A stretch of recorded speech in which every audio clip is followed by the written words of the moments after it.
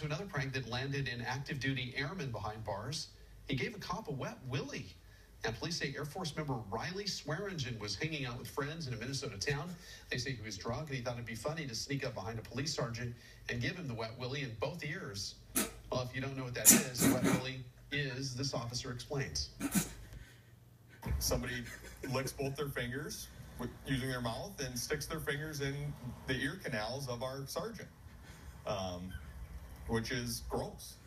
Well, it was considered an assault, and Swearingen was arrested. He ended up facing a lesser charge and spent three days in jail. A little boy got stuck in